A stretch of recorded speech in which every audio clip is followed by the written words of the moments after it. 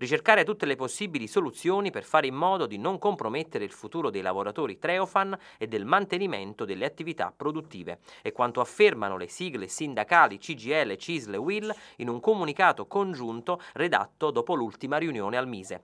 Il prossimo tavolo sarà preceduto da riunioni a livello locale per approfondire e mettere ancora una volta in discussione il piano industriale. Il tavolo tecnico intermedio, per quel che concerne il sito di Battipaglia, si terrà il prossimo 27 febbraio alle ore 15 presso il Grand Hotel Salerno.